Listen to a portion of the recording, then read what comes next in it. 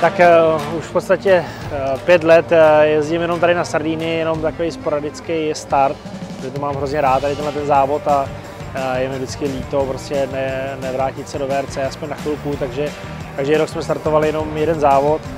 ale musím říct, že tenhle rok byl trošičku jiný. Měl jsem asi po té další pauze, protože jsme nestartovali ve VRC rok a půl. Možná ta pauza už byla tak dlouhá, že mi to hodně chybělo,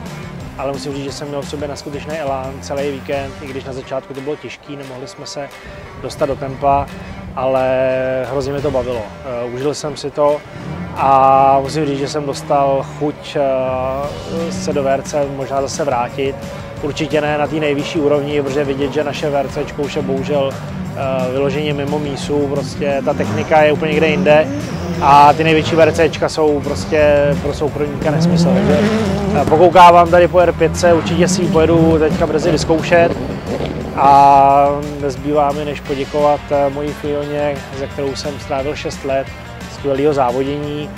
Měli jsme spolu skvělé zážitky, i špatné zážitky, nepříjemné chvíle ale to auto bylo skvělé, bohužel už, už patří do muzea, určitě si ji nechám a, a budeme se o ní starat, ale na mistrovství světa už to nikdy nebude. Takže je potřeba se podívat po nějaký mladší technice a, a si víme, kterým směrem půjdeme, takže